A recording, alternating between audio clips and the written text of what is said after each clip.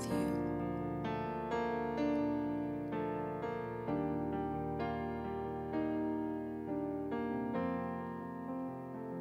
As we enter into your presence, we do it with a heart that is expectant to meet you here.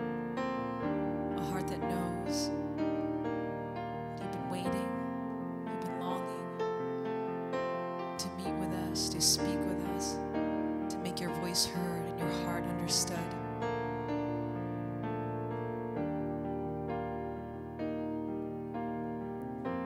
We ask, Father, that as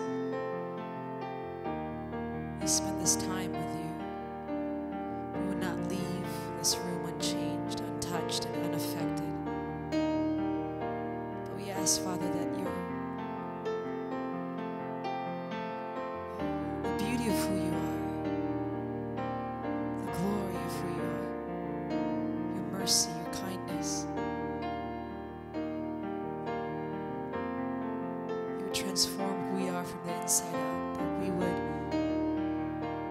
fix our eyes on you. And as we do so, that we would become who we behold.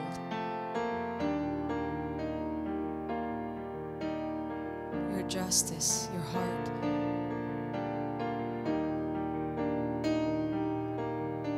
Your compassion, all these things. Would you give us a glimpse what's in your heart this morning? We draw near to you, knowing God that you have said you'll draw near to those who draw near to you. We thank you that you've made a way for us.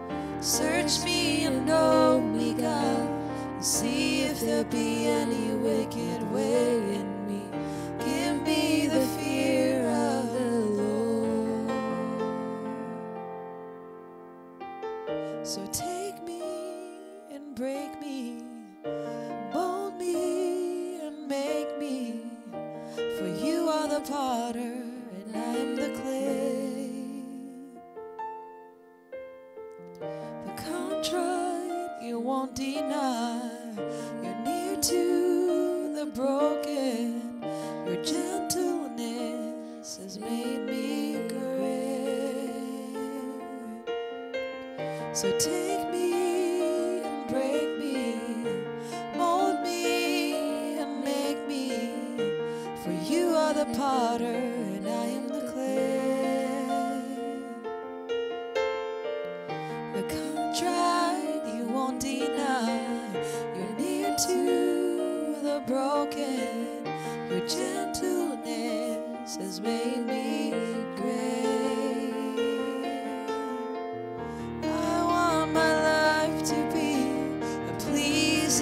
sacrifice in your eyes. Give me the fear.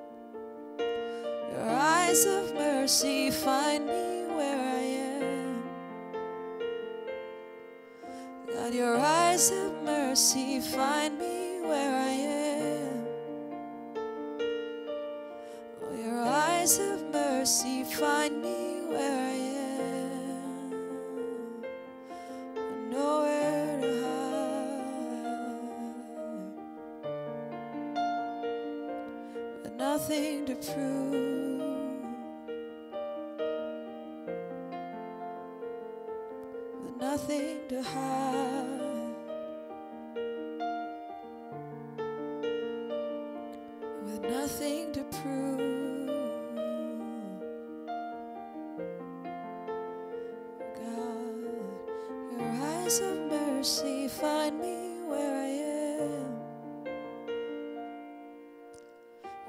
eyes of mercy find me where I am. Your eyes of mercy find me.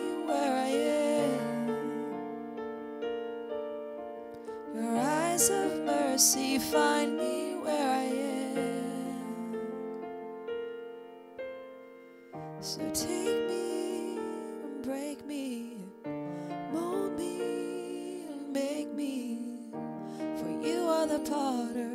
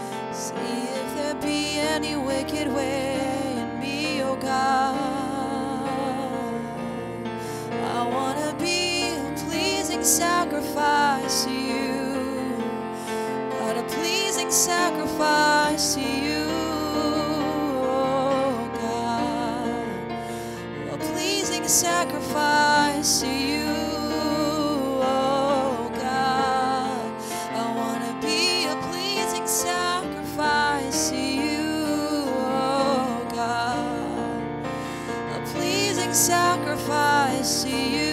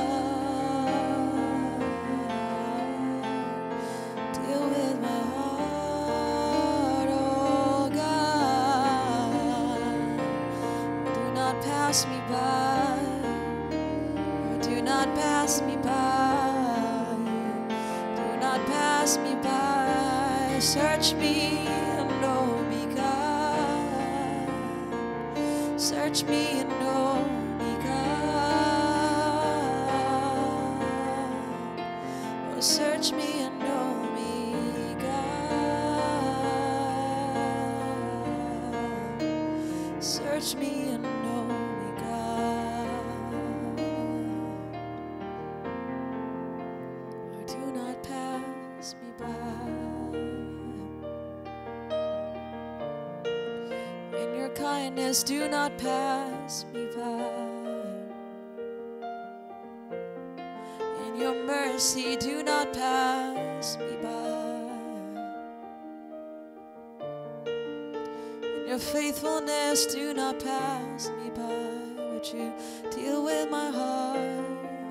Would you deal with my heart?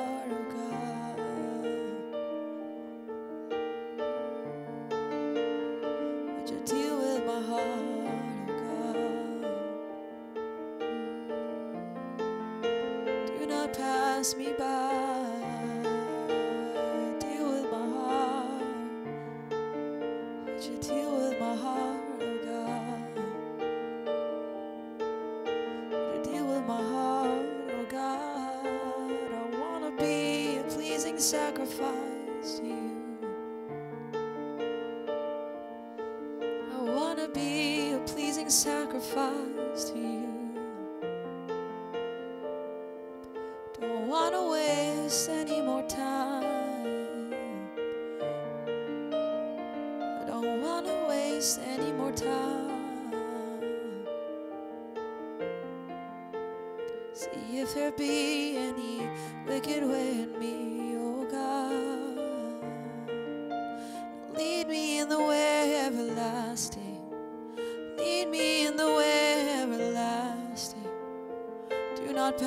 pas.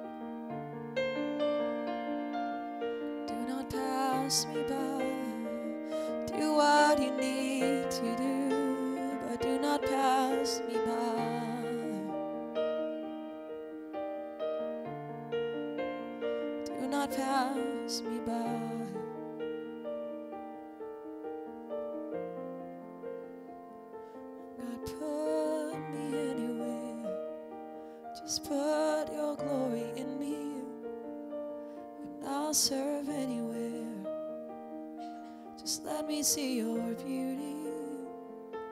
God, put me anywhere. Just put your glory in me, and I'll serve anywhere. Just let me see your beauty, oh God. Put me anywhere. Just put your glory in me, and I'll serve anywhere. Just let me see your beauty. God, put me anywhere. Just put your glory in me, and I'll serve.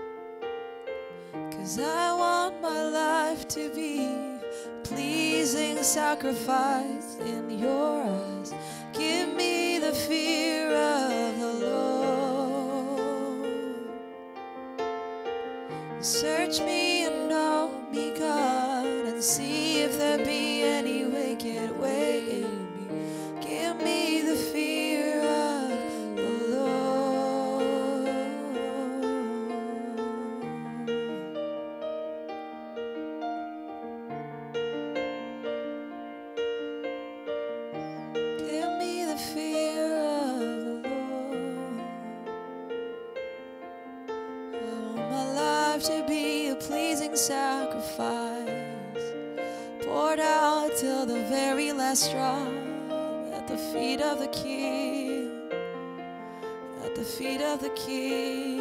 I want my life to be a pleasing sacrifice, a pleasing sacrifice, poured out at the feet of the king, poured out for his glory, poured out for his glory need to do in me. Do what you need to do in me. Would you make this life a pleasing sacrifice to you? A pleasing sacrifice to you.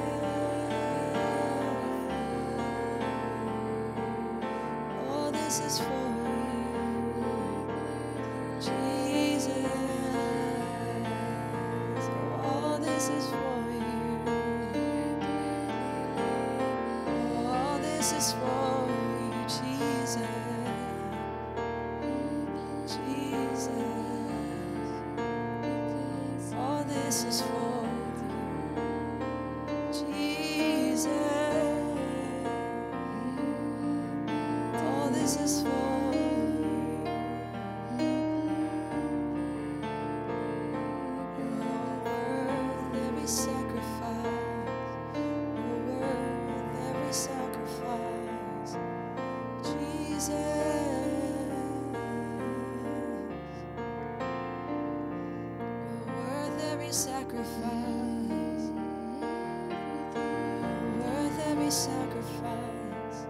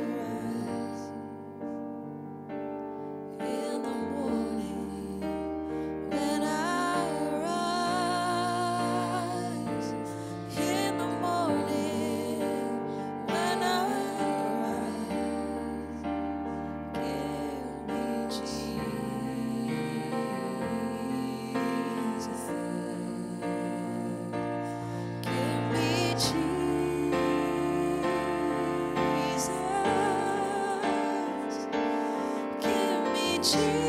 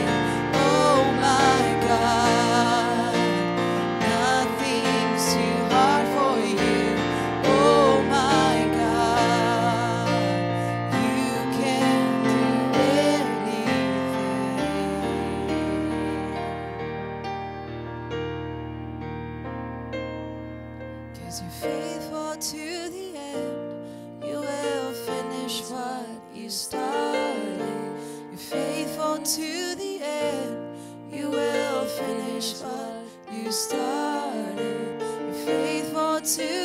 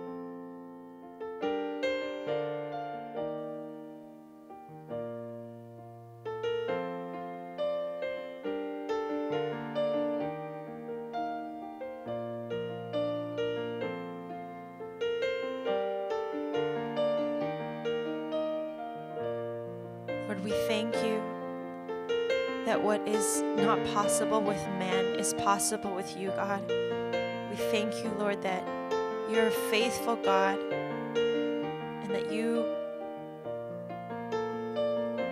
finish what you have started. God, you're faithful always to finish what you started. You don't leave any work unfinished, God. We thank you, Lord, that the things that we pray for, the things that we cry out for, the deepest cries of our heart, the deepest cries of a nation, God, they matter more to you than they matter to any of us, God. We thank you that you care so deeply. We thank you that your mercies are so great.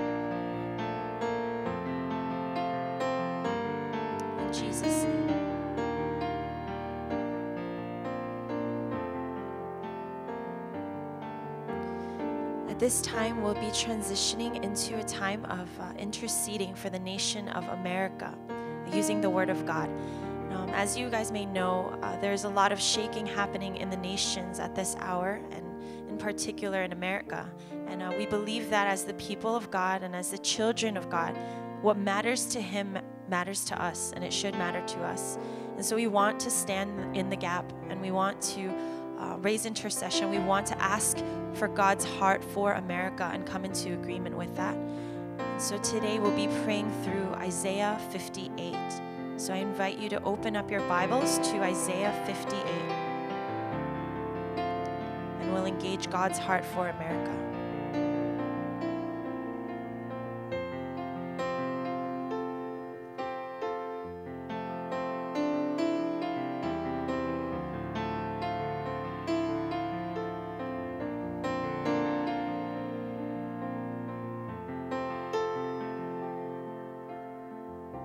Aloud. Do not hold back. Lift up your voice like a trumpet. Declare to my people their transgression, to the house of Jacob their sins. Yet they seek me daily and delight to know my ways, as if they were a nation that did righteousness and did not forsake the judgment of their God. They ask of me righteous judgments. They delight to draw near to God. Why have we fasted and you see it not? Why have we humbled ourselves and you take no knowledge of it? Behold, in the day of your fast, you seek your own pleasure and oppress all your workers. Behold, you fast only to quarrel and to fight to hit with a wicked fist. Fasting like yours this day will not make your voice to be heard on high. Is such the fast that I choose, a day for a person to humble himself? Is it to bow down his head like a reed and to spread sackcloth and ashes under him? Will you call this a fast and a day acceptable to the Lord? Is not this the fast that I choose? To loose the bonds of wickedness, to undo the straps of the yoke, to let the oppressed go free, and to break every yoke? Is it not to share your bread with the hungry and bring the homeless poor into your house? When you see the naked, to cover him, and not to hide yourself from your own flesh? Then shall your light break forth like the dawn, and your healing shall spring up speedily. Your righteousness shall go before you. The glory of the Lord shall be your rear guard. Then you shall call, and the Lord will answer. You shall cry, and he will say, Here I am. If you take away the yoke from your midst, the pointing of the finger and speaking wickedness, if you pour yourself out for the hungry and satisfy the desire of the afflicted, then shall your light rise in the darkness, and your gloom be as the noonday. And the Lord will guide you continually and satisfy your desire in scorched places and make your bones strong.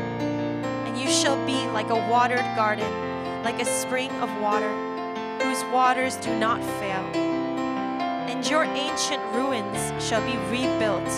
You shall raise up the foundations of many generations. You shall be called the repairer of the breach, the restorer of, of streets to dwell in.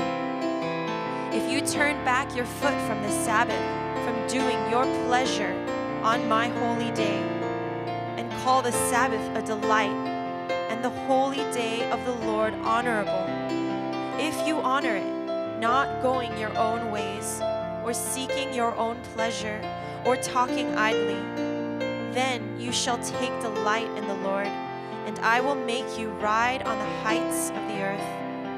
I will feed you with the heritage of Jacob your father, for the mouth of the Lord has spoken.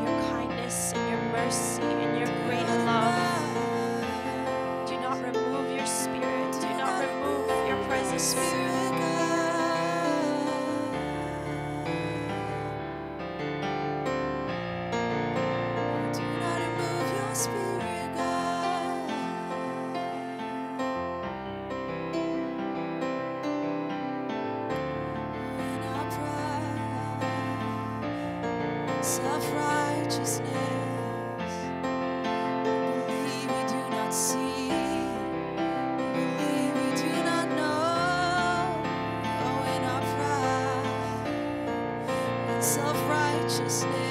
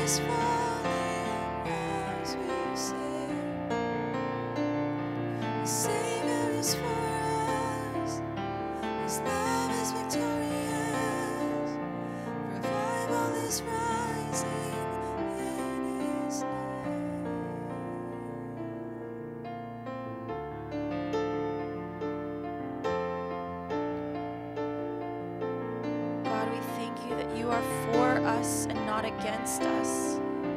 We thank you so much that you long, you desire that we experience the fullness of your mercy and your compassion.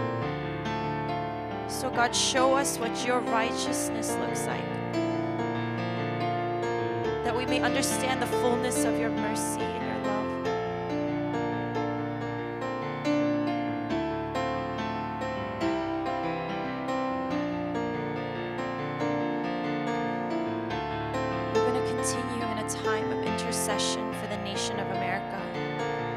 presidential election is next week, it's an important time for us to remain in prayer.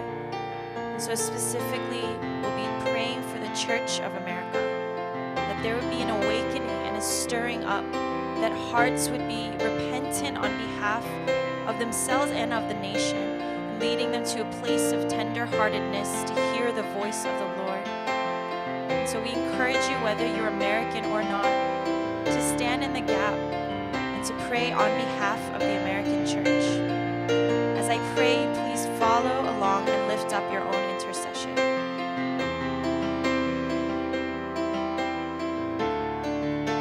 Lord God, we pray for a shifting of minds and hearts to know more accurately who you are. May the American church have a right view of you, not distorted by who we want you to be, but informed by the word, the full counsel of the word. Give us sober judgment that each of us would not fail to examine ourselves according to the measuring stick of your word. We pray for individual ownership to take place, that blame would not be shifted or generalized to groups, but that there would be an acknowledgement of where we are with you personally. We ask for mercy and for your eyes of understanding. May true repentance occur from a place of knowing a holy God, knowing that we've fallen short, but that you also forgive. May we repent on behalf of ourselves, but also on behalf of the church and the nation as a whole. Because we're your people, the issues of a nation are relevant to all of us. And out of a desire to see the glory of Jesus in all things, to see Jesus exalted in all things, let us make this a personal matter, even if it was not before. Let's pray.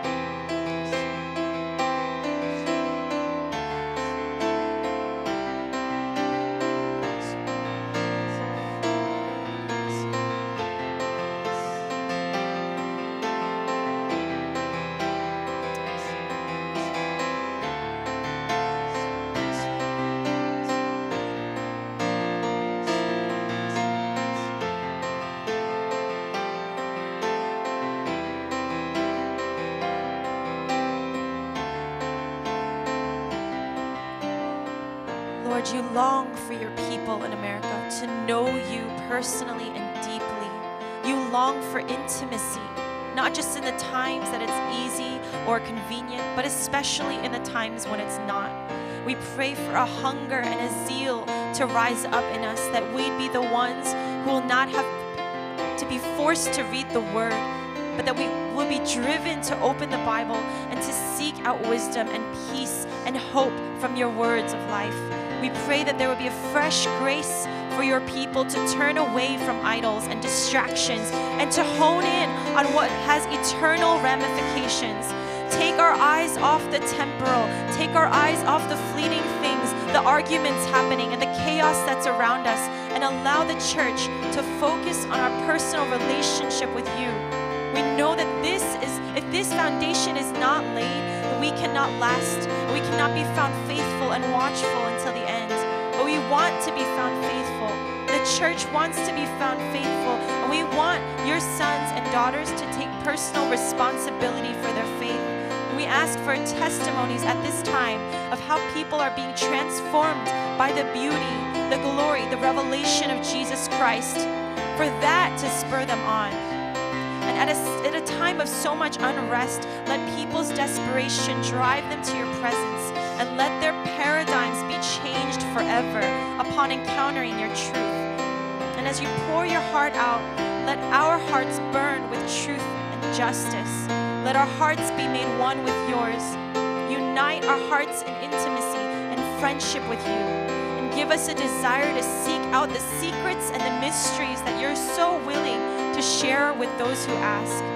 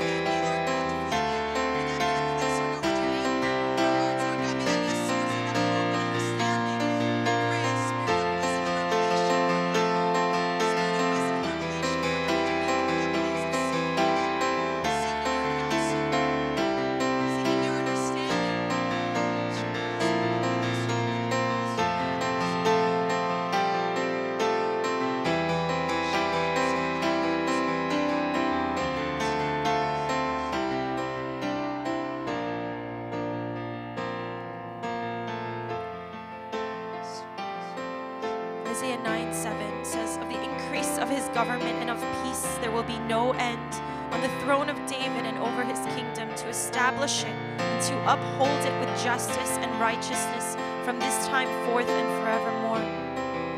Lord, while there's so much talk and action surrounding the governments of this earth, we know that we are not citizens of this earth. We are citizens of heaven. We are citizens of a government that is far above and beyond the kingdoms of this world. And though in many ways it government of Jesus is the most real, the most authoritative government there is.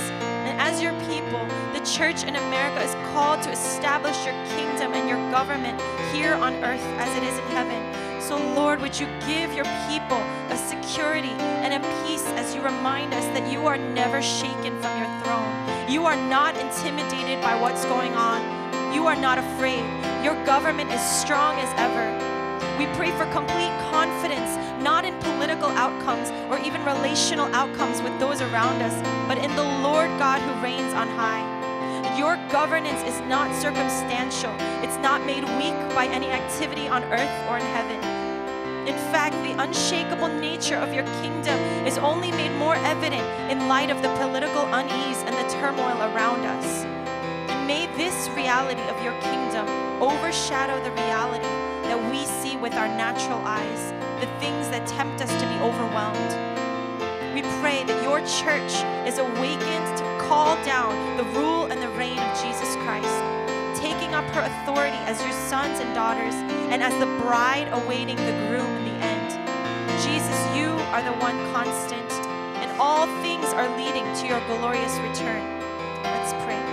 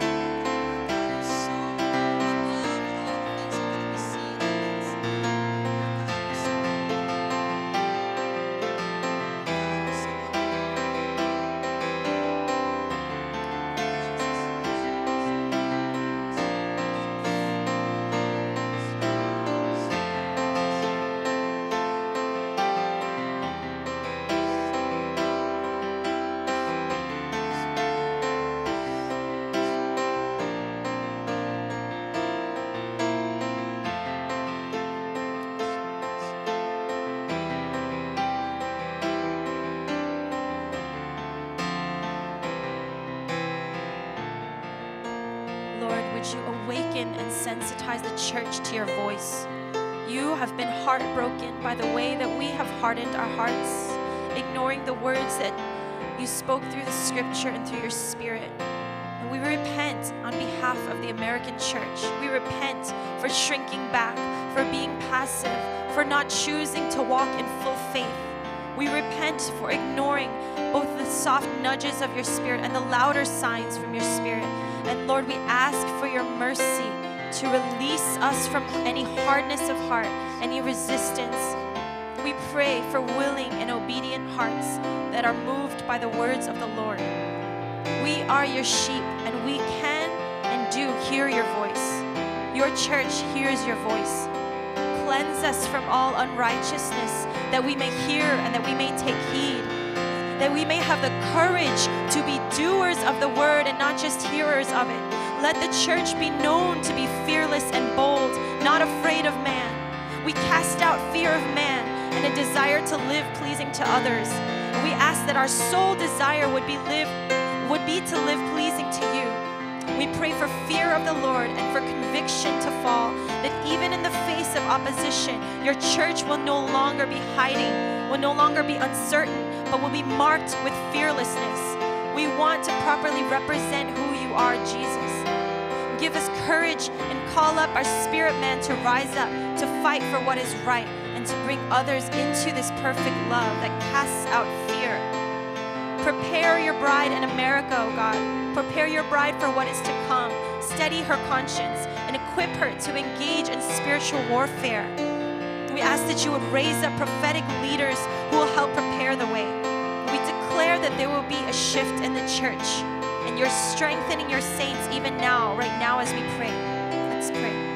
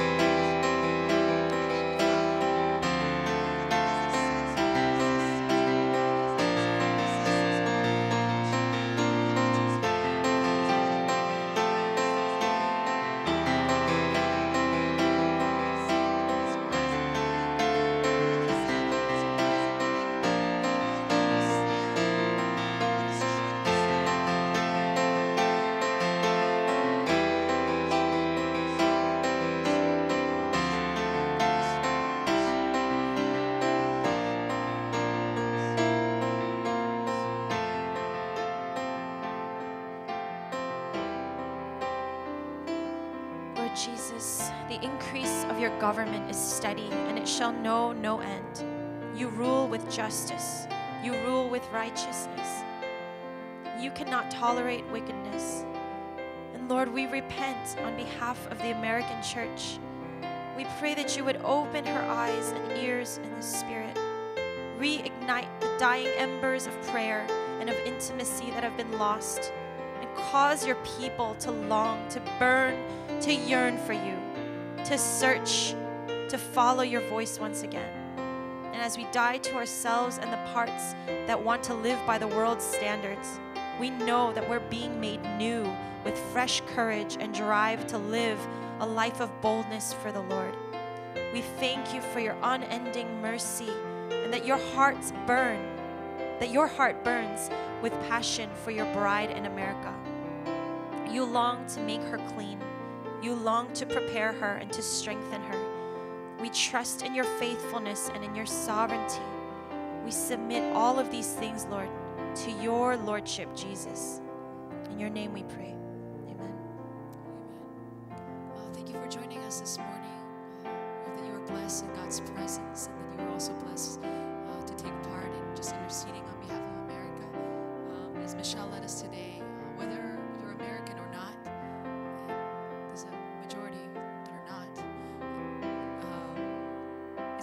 to intercede on behalf of a nation that very much is in a turning point. So I encourage you to continue to come out. We have a watch tomorrow evening at 8 p.m. and also next week, our Wednesday morning watch. Next week, it's going to be literally as the elections are wrapping up. So it's going to be Tuesday evening in the States while it's Wednesday morning here. So we encourage you to come out and continue to intercede.